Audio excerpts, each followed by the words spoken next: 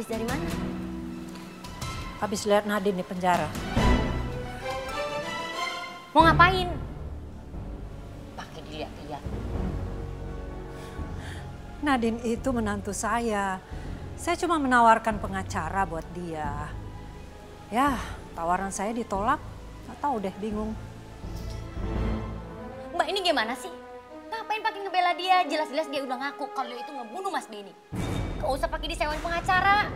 Gak usah. Nadine itu bukan pembunuh. Saya nggak percaya. Nadine itu anaknya baik. Lagian apa motifnya Nadine membunuh suami kamu? Nggak ada kan? Saya yakin itu cuma kecelakaan. Ternyata Mbak Maya itu nggak ngerti perasaan saya ya. Mbak itu bukannya jaga perasaan saya. Mbak itu bukannya ngebela saya tapi malah ngebela pembunuh itu. Malah pakai disewain pengacara.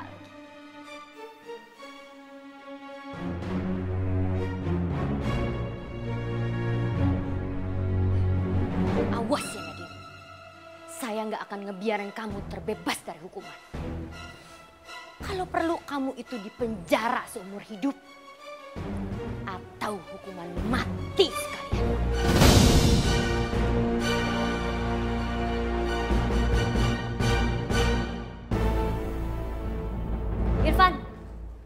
Irfan, Ada apa sih, Ma? kita harus dapetin pengacara secepatnya. Untuk apa, Ma? Ya untuk menghukum Nadine atas perbuatan dia terhadap papa kamu. Pokoknya harus orang yang hebat. Harus orang yang bagus. Supaya pengacaranya Nadine yang disewa sama Mbak Maya itu nggak bisa ngalahin kita. Oke, Ma. Tenang aja. Nanti aku cariin pengacara yang paling bagus.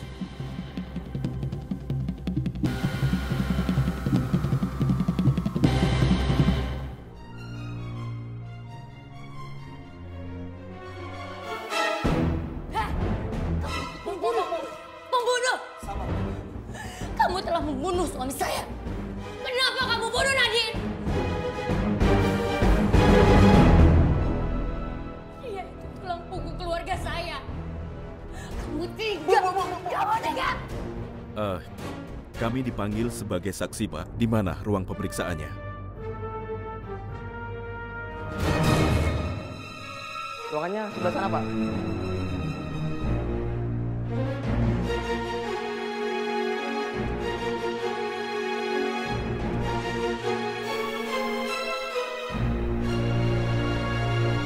Mari, Pak. Ayo sayang, ngapain nontonin mereka? Ayo.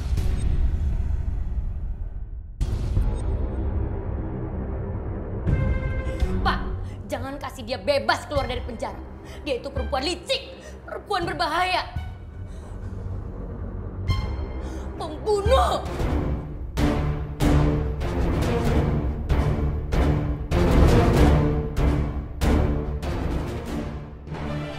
Saya sebagai pengacara tidak bisa berbuat apa-apa bila Nadine tidak mau bicara soal kematian Pak Ben.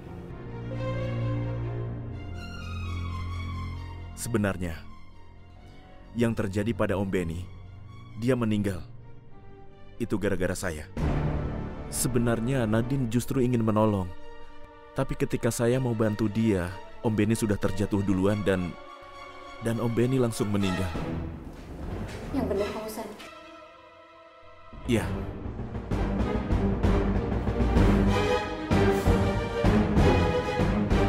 Aku nggak percaya sama cerita kamu, San. Itu pasti cara kamu untuk melindungi Nadine. Nadine harus dihukum berat supaya kamu dan dia bisa pisah. Malam ini, dokter akan melakukan otopsi dan jenazah Pak Benny akan dibawa ke rumah keluarganya. kami sudah mempersiapkan plan B-nya. Apa itu? Apa itu rencananya?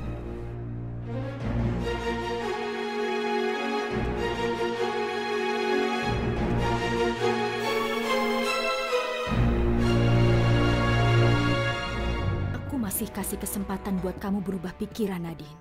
kasih tahu aku di mana kamu nyimpen tubuh ularnya Mas Manu.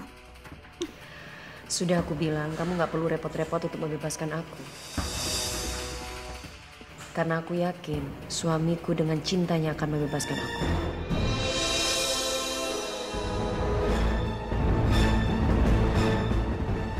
Kamu itu benar-benar ngabisin kesabaran aku ya Nadia. Tara, kita lihat sama-sama. Kita buktikan ya.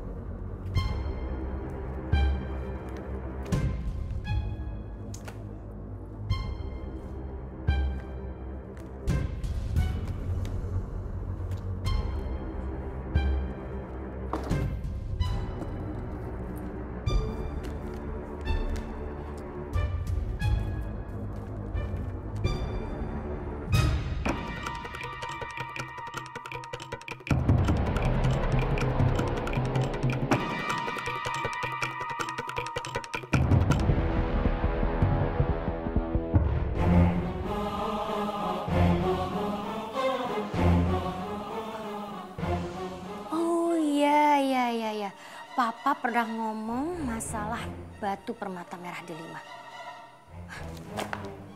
Pokoknya aku harus cari tahu apa batu permata merah delima. Pa, Kamu dan papan sih, bikin kaget orang aja. enggak. Papa ngomong apa barusan? Permata merah delima. Permata apa sih, Pak?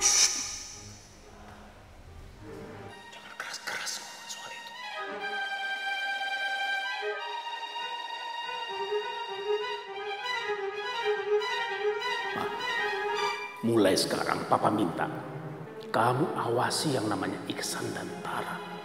Oke? Ah, Kenapa mesti diawasin? Emang mereka kenapa, Pak? Mama mau jadi orang kaya apa enggak? Ya, kaya ya mau.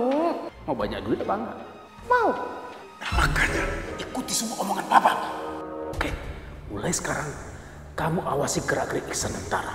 Jangan sampai ketahuan. Oke, Oke, oke, oke. oke. Oke, Pak. Oke. Ya, udah sana. Tapi kira-kira siapa ya orang yang mengerti tentang batu permata merah delima?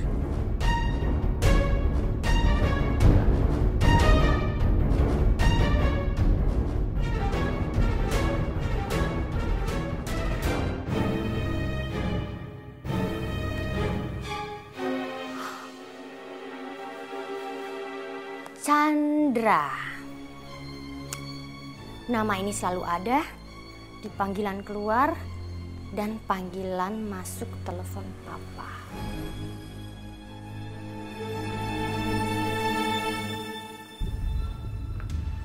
Kenapa juga sekarang mesti Ben yang mati? Lalu bagaimana cara bisa kudapatkan permata merah lima itu? Siapa yang bisa kuandalkan? Padahal sedikit lagi sudah hampir kukuasai harta si Isan.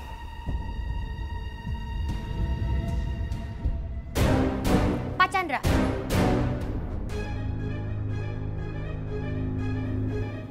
Cari siapa ya? Kenalkan, saya Sylvie, istrinya Benny. Saya tahu Bapak dari kontak personnya handphone suami saya. Dan saya kemari ingin menanyakan mengenai batu permata merah dulu. Kenapa istrinya Benny bisa tahu soal permata merah lima itu? Sebelum meninggal, suami saya memang pernah menyebut-nyebutkan batu permata merah delima. Apa itu? Saya kurang tahu kalau soal itu. Pak Chandra nggak usah bohong. Karena saya yakin Pak Chandra itu tahu. Dan saya juga yakin kematian suami saya ini ada hubungannya dengan itu. Saya nggak tahu menahu soal itu. Oke, sekarang kamu boleh nggak ngaku. Tapi satu saat nanti saya akan bikin kamu cerita soal permata itu. Karena saya yakin ini ada hubungannya dengan kematian suami saya.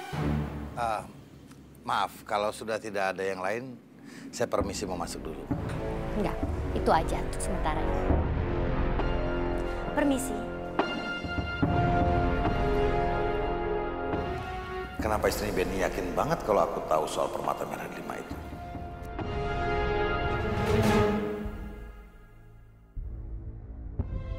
Semoga otopsinya berjalan lancar. Dan keberuntungan ada di pihak kamu, Nadine. Aku akan berusaha semampuku untuk keluarin kamu dari penjara. Tara. Dia pasti curiga karena aku pergi terlalu lama. Halo sayang. Sebentar lagi aku pulang. Sabar ya. Tunggu ya sayang.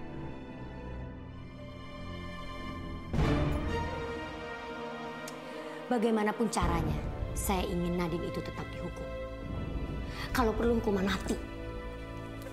Nyawa dibalas dengan nyawa. Iya, Bu. Tapi Tapi apa, Pak? Masalah biaya. Berapapun biayanya akan saya bayar. Asal Bapak bisa mewujudkan kemauan mama saya.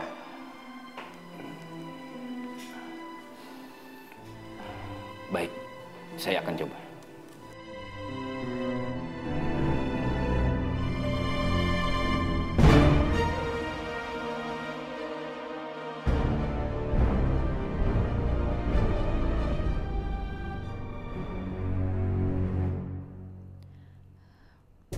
Mas, gimana hasil otopsinya?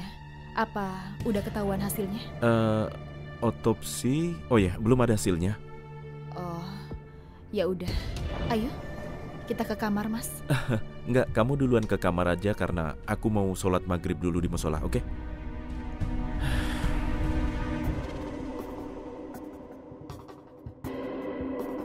Aneh, sejak kapan Mas Manu sholat?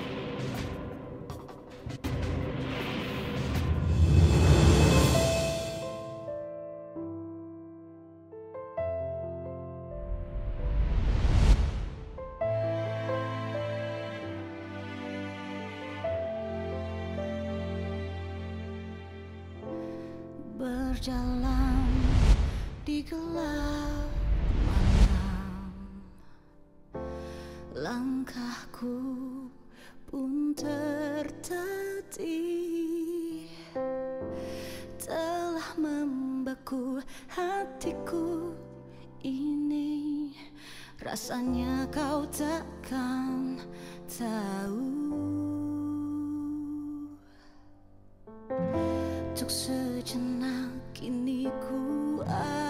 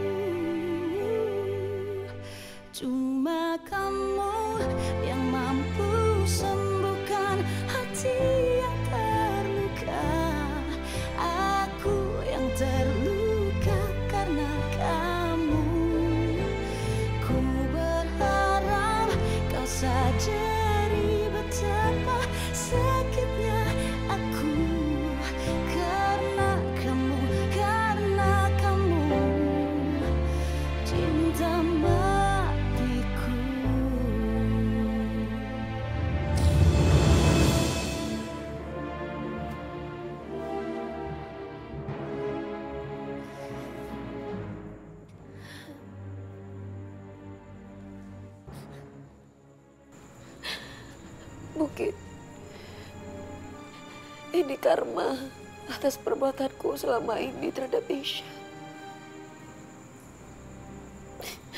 Aku menyanyiakan cintanya yang begitu besar terhadap aku. Hanya lebih mementingkan dendam aku.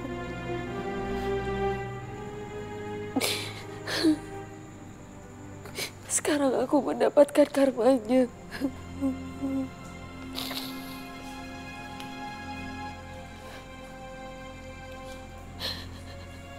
Kalau masih ada sedikit cinta dari suami aku, Tolong satukan kami ya Tuhan.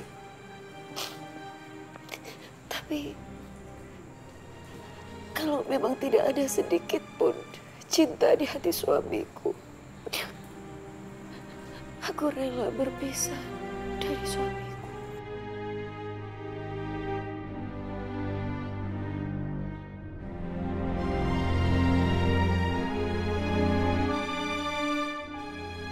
Ya Allah, tolong ampuni aku karena gak bisa melindungi istriku. Aku sangat mencintai dia, ya Allah. Tolong tunjukkan kebenarannya. Nadine gak bersalah, ya Allah. Gak seharusnya dia ada di dalam penjara.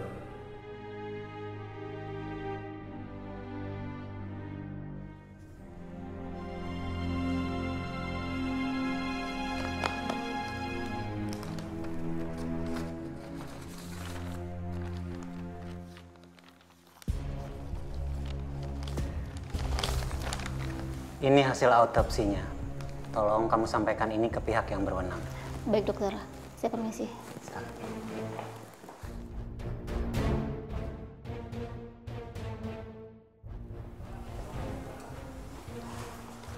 Sudah ada hasilnya. Sudah pak, Saya buka ya. silakan.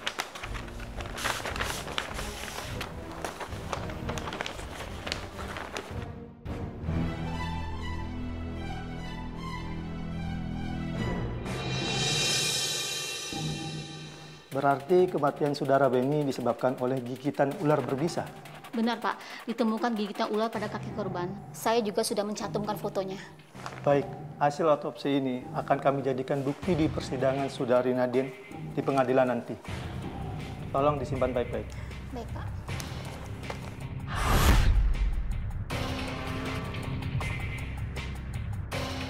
Bagaimana mungkin kematian Om Beni disebabkan oleh gigitan ular? Jelas bukan aku pelakunya. Dan saat itu Nadine juga sedang berusaha menarik Beni supaya nggak jatuh.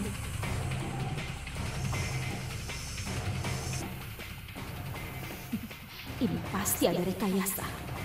Nadine nggak boleh bebas. Terima kasih infonya, Pak. Ya. Alhamdulillah. Semoga Nadine segera dibebaskan ya Allah. Ada apa, Ma?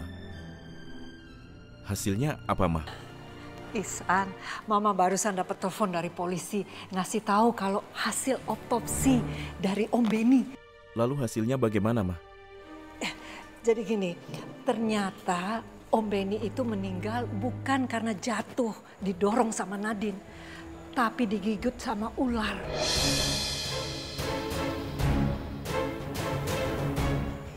Semoga ini menjadi awal yang baik ya, San.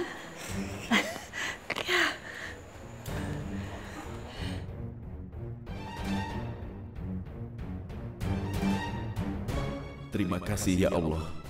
Semoga dengan bukti ini pengadilan bisa memutuskan kalau Nadine tidak bersalah dan Nadine bisa segera bebas dari penjara. Aku tahu. Aku tahu kamu nggak salah, Nadine. Isan! Isan tolong aku! Isan bantu aku Isan!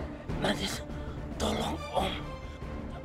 Andai semua orang tahu perjuangan Nadine saat itu untuk menyelamatkan Om Beni, perjuangan Nadine untuk membuat keluargaku tetap utuh. Isan aku udah gak kuat!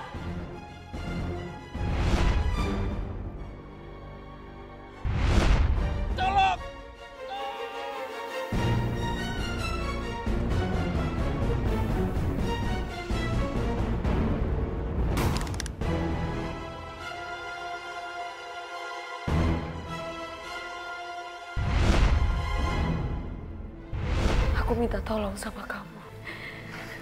Jangan ceritakan kejahatan Om Beni terhadap keluarga kamu. Termasuk Tante Sylvie.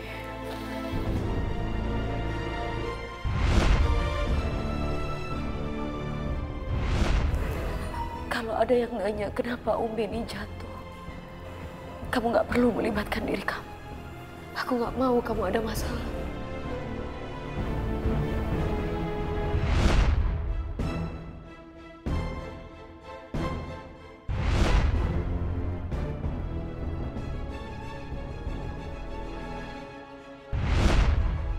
Harus menebus semua kesalahan yang aku lakukan karena udah bikin kamu tersiksa, Nadine.